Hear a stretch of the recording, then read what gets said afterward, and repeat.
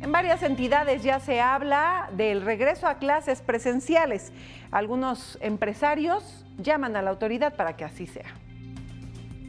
Las dos centrales empresariales más importantes del Estado de México, el Consejo de Cámaras y Asociaciones Empresariales Estatal, el CONCAEM, y el Consejo Coordinador Empresarial del Estado, se pronunciaron a favor del regreso a clases, como lo plantea el gobierno federal, pero siempre y cuando se realicen mesas de trabajo para precisar los protocolos sanitarios en las escuelas, tanto públicas como privadas, y no sea una decisión unilateral. Una es esquemas mixtos. Dos, es eh, buscar un protocolo ideal de medidas de seguridad. Por ejemplo, a lo mejor se decidirá que no pueden tomar alimentos, ¿no? Que el horario será menor, presencial, y que no pueden tomar alimentos ahí, o algunas cosas que tal vez aminoren eh, la, la probable, el probable contagio, ¿no?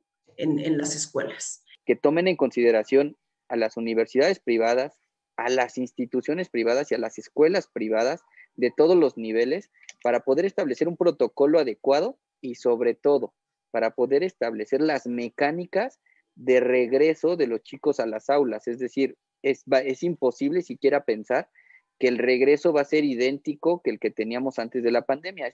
Ambos coincidieron en que en general, después de un año de pandemia, la tendencia debería ser reactivar las actividades, pero con protocolos sanitarios claros.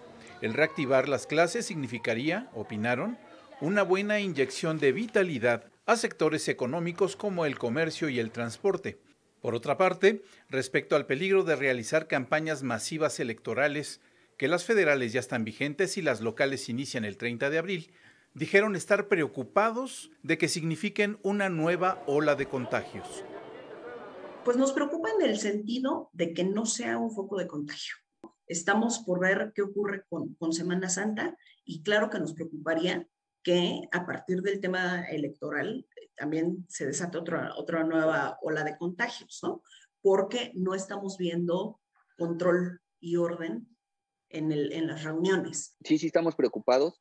Le pedimos a la autoridad federal y a la autoridad estatal que pongan las mecánicas la reglamentación y los límites muy claros para el tema de eventos masivos que puedan tener los candidatos, porque creo que en, esta ocasión sí creo la democracia es principal, es urgente, es necesaria en todos los países que tienen una estructura política como la nuestra, pero también la salud es importante y la salud económica también. En ambos temas, lo que los empresarios piden es que por falta de protocolos se genere un nuevo pico en la pandemia. Gerardo Carmona Moreno, Noticieros Televisa.